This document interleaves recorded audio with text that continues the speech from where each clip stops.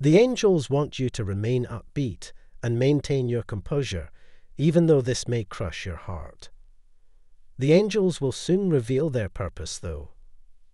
Keep in mind that someone is willing to walk hand in hand with you through the tapestry of life because they are aware of your concerns. Although it is a challenging period, it will pass quickly. For you, this is the most traumatic time.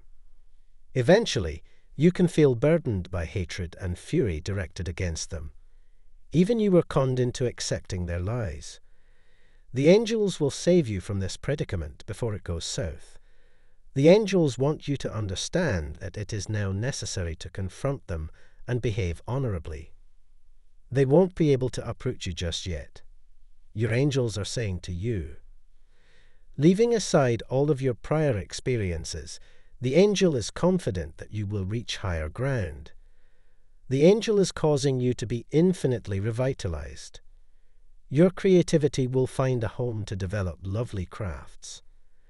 As you climb the ladder of success, you will eventually arrive at your startling destination. I'm here to transform your grief into laughter, your suffering into peace, and your tears into delight. Prepare for your miracle and get ready for your blessing. I'm working quietly, but my goodness will catch you off guard. I'm going to deliver countless blessings, enduring achievements, and loving connections before this month is over. In every aspect of your life, you will be able to witness my influence, Things that once appeared unattainable will suddenly be possible. Change is brimming with benefits, and anointing is already upon us. You will walk on peaceful paths because you have been anointed by heaven. Your faith may be put to the test over the next few days. The Archangel Michael is saying to you today, beloved soul, this challenge is not intended to break you, but to make you stronger, says Archangel Michael. You have the chance to prove to the world how firmly committed you are to your principles and how much you are actually capable of.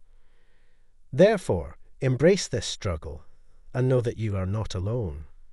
If you have faith in me, I'll make it possible for you to receive the blessings you deserve.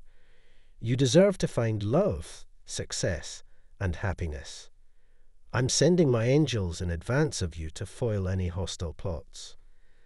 My child, you're not fighting this battle alone. I've got you covered, and I'll keep you safe. The adversary might make an attempt to assault you, but he will fail. You are my beloved child, and I promise to protect you from harm.